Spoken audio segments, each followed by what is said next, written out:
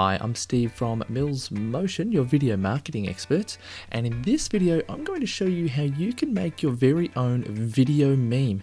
That is those videos that you see with the text at the top and at the bottom of your video. These videos are extremely effective on social media, specifically Facebook. That's because they've got the text at the top and the bottom that you see without even having to play the video. And that creates like an open loop as you're scrolling through Facebook, you read something about the video at the top and the bottom of it, and you don't get the punchline unless you hit the play button, which I think is kind of brilliant. I mean, when you're posting a video, you want people to hit the play button on it. And, um, and with these videos in particular, you can say something and your viewer on the other end, they don't get the punchline unless they hit the play button, um, which I think that's really, really cool. Facebook actually preferences people who create content that people engage with. So if you're making engaging content, Facebook will preference your content, meaning your content will get in front of more people.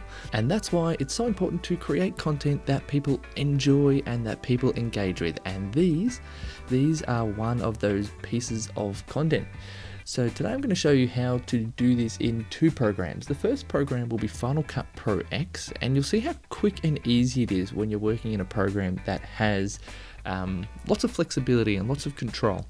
Um, and then I'll show you some workarounds to be able to do it in iMovie iMovie comes free with every Mac and it will be very similar to a whole range of lower cost editing suites. So uh, there's there's two options there, and one of those options I'm sure will work for you on your computer and your editing software.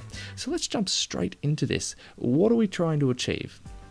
Check this video in the top right corner of the little goat. Uh, the goal is, jeepers, the The goal is to create that video with the text at the top and the bottom and the black bars so that you can see that text clearly. Let's jump into it.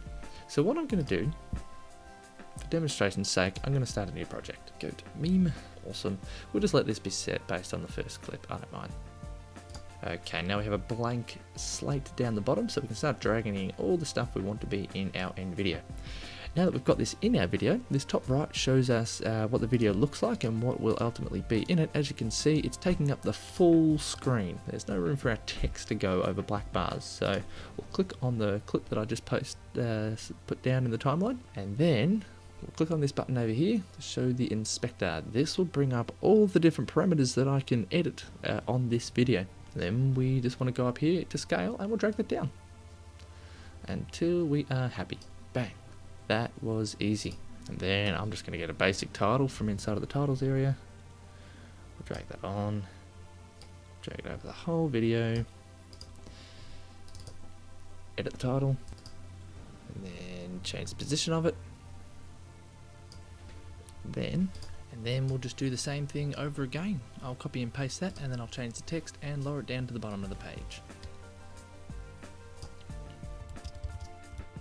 And there you have it. Now you are ready to export that into its final file. So that was really, really easy. You can play around with that and tweak a lot of the settings quite easily um, to make it look prettier if you want to. But the end goal of the black bars and the text was right there. Um, iMovie. Now let's see this in iMovie. iMovie is a much more limited program, so you'll need to do some workarounds to get that same amount of flexibility and I think this will be a bit, this will be the same with a lot of other free programs like Movie Maker and things like that, and low cost ones where you're just a bit limited in what you can do. So we'll create a new project here.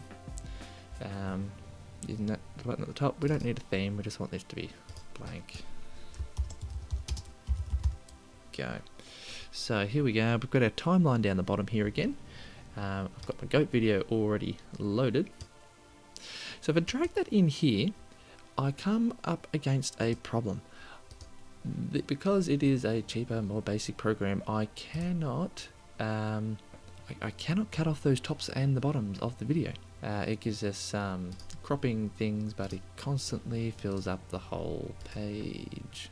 So there's nothing. So there's nothing we can do there. Um, we have a dilemma. The video fills up the whole screen and there's no way to scale it down because it's a cheaper program and it's a much more simple program it doesn't give us the opportunity to scale the video down like in Final Cut Pro. So you need to do a workaround and there's two options. The first option, jump over to my website and download some PNG files with some black bars. Uh, you'll find them in a folder called meme text bars and you can drag that straight over the top.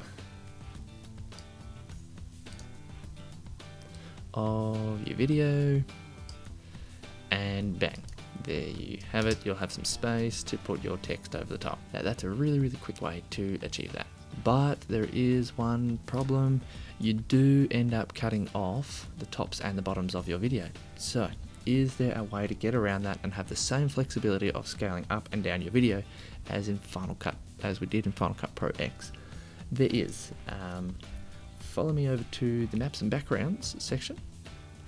What you want to do is you want to drag on a background into the bottom part of your timeline. Drag that out a bit.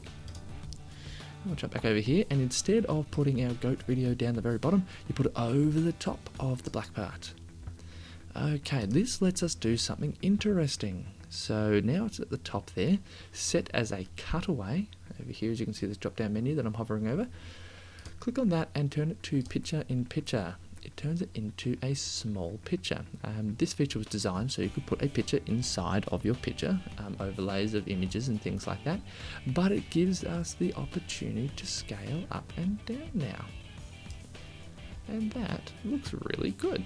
That is the only way that you're able to scale them up and down, but look, it's doable, it, it works, and that will give you the opportunity to have the black bars at the top or the bottom without cutting off your video at the tops or the bottoms, which is really, really cool. Now let's throw some text onto it. Now you do inside of iMovie have some other limitations. You can only do one layer of text. As you saw in Final Cut, I was able to do one, two layers of text and control them individually.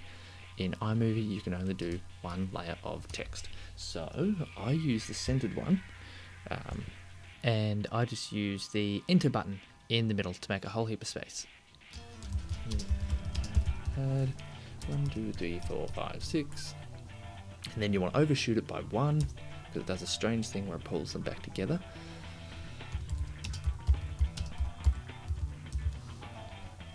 And just done. Drag out your text across the video and there we have it, our video meme ready for upload to Facebook. If you've got any questions, uh, don't hesitate to ask in the comment section. I hope you found this video helpful. Uh, if you did, be sure to give us a like. And if you would like more content just like this one, hit the subscribe button. I'll be making more in the coming weeks. I'm Steve from Mills Motion. Thank you so much for watching and all the best with creating your video memes.